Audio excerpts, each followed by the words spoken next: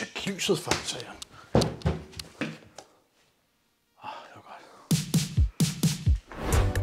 I disse tider, hvor energi- og strømpriserne de bare stiger og stiger, er det desværre blevet nødvendigt for rigtig mange af os at holde lidt øje med vores strømforbrug. Og vi synes faktisk, at i Haifa Klub, at det kunne være interessant at lave et forsøg på nogle af vores mest populære produkter og se, hvor meget strøm de egentlig bruger.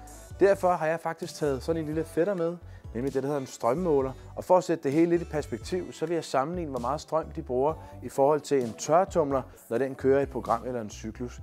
Helt specifikt vil jeg se, hvor længe man kan spille musik på tre af vores systemer, før de har brugt lige så meget strøm som tørretumleren. Strømmen, som tørretumleren bruger på et program eller en cyklus, har jeg faktisk allerede målt hjemmefra på min egen, og her fik jeg en måling på lige omkring 3 kWh.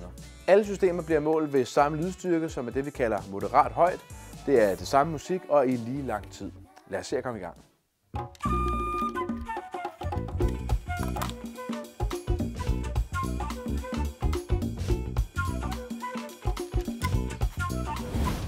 Så fik jeg foretaget målingerne, og her kommer resultaterne for alle tre systemer. Som sagt, så målte jeg min tørretønder derhjemme til at bruge ca. 3 kWh eller 3000 Wh på et program eller en cyklus. Og til sammenligning, der kan jeg fortælle, at på en Sonos One, der kan du spille op til 272 timer, eller hvad der svarer til 11 døgn, før du har brugt samme mængde strøm som tørretumleren. Lyngdorf-forstærkeren TDAI 1120 og Opticon 2-højtaleren for Dali, jamen der kan du spille op til 158 timer, eller hvad der svarer til cirka 6,5 døgn. Og endelig kan du på M33-forstærkeren fra NAD og vores Vestlyd V15C højtaler spille op til 81 timer, eller hvad der svarer til lidt over 3 døgn, før du har brugt samme strøm.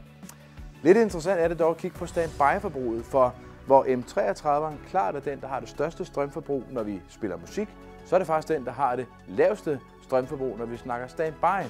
Her har du nemlig kun en effektudgivelse på 0,4 watt, hvor du i Sonosen, som klart var den, der var mest effektiv ved musikafspilningen, har det største forbrug inden for standby på 3,5 watt.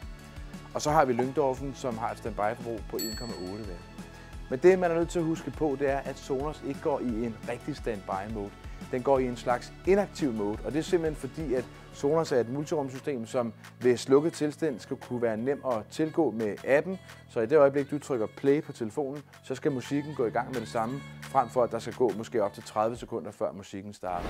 Så altså, man skal ikke være bange eller have dårlig samvittighed over at spille lidt god musik i ny og næ. Nej, så hælder vi en tøjet på vrangen og lader der gå lidt ekstra dage, før man tænder tørretømmeren, hvis man virkelig vil spare. Husk at leve også i de her tider, og hør nu din yndlingsmusik på et godt lydsystem. Og sidder du derhjemme og godt kunne tænke dig et fedt lydsystem, men er i tvivl om, hvad det kunne være, så kig ned i din lokale hi klub og lad dig inspirere. Vi står klar til at hjælpe dig. Vi ses.